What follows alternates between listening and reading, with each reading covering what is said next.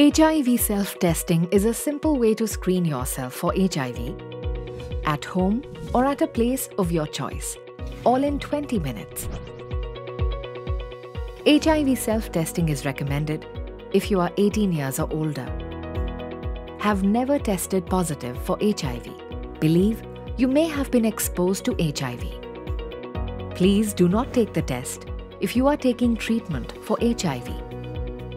Do not eat, drink, or use any oral care products 30 minutes before the test.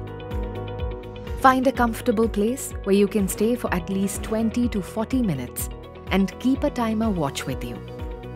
Remove dentures or anything else that covers your gums. Do not use the kit if the seal on the box is broken or if it is expired.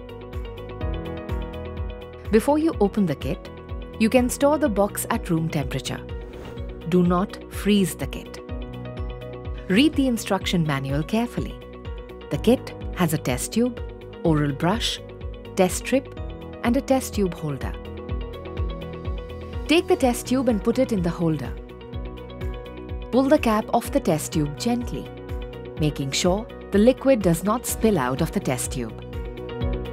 Open the plastic bag by slightly pushing out the swab handle against the plastic bag. Do not touch the cloth end of the swab. Only use the handle to pull out the brush. Use the oral brush and brush your upper gum from left to right with up and down movements. And repeat the same from right to left. Repeat this on your lower gum line. Insert the oral brush in the test tube fluid and gently move the oral brush up and down in the test tube fluid 6 to 8 times. Squeeze excess fluid from the oral brush, remove the oral brush and put it aside. Now remove the test strip from the foil pouch. Do not touch the surface in the middle of the strip. Drop the test strip in the test tube with the arrows pointing down.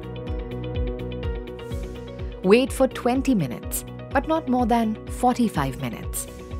Remove the test strip when you see lines have appeared. Only one line on the test strip means your HIV screening test is negative. It is recommended to test again after three months. Two lines on the test strip means your HIV screening test is positive. It does not matter how dark or light the line is. The kit is only a screening test. You need to confirm the result at a testing center. Please go to the nearest integrated counseling and testing center or doctor for a confirmation test. After you take the test, please throw the entire kit in the dustbin. For more information, contact us.